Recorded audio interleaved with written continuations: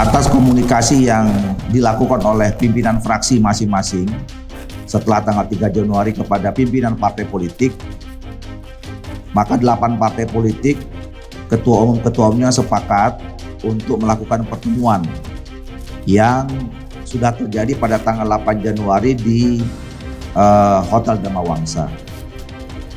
Nah dari pertemuan itu juga kemudian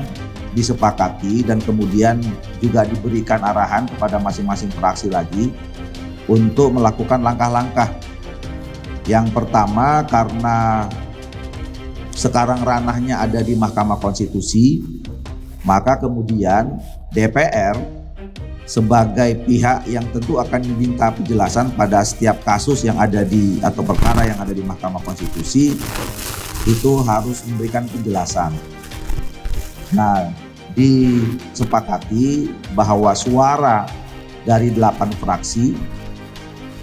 uh, itu setuju tetap berada pada posisi menerapkan sistem proporsional terbuka pada pemilu tahun 2024 dan juga diberikan arahan kepada khususnya di Komisi 3 yang selama ini menjadi tim kuasa hukum dari DPR setiap ada perkara di Mahkamah Konstitusi untuk menyepakati bahwa suara yang akan disampaikan menjadi penjelasan pada eh, sidang-sidang di Mahkamah Konstitusi adalah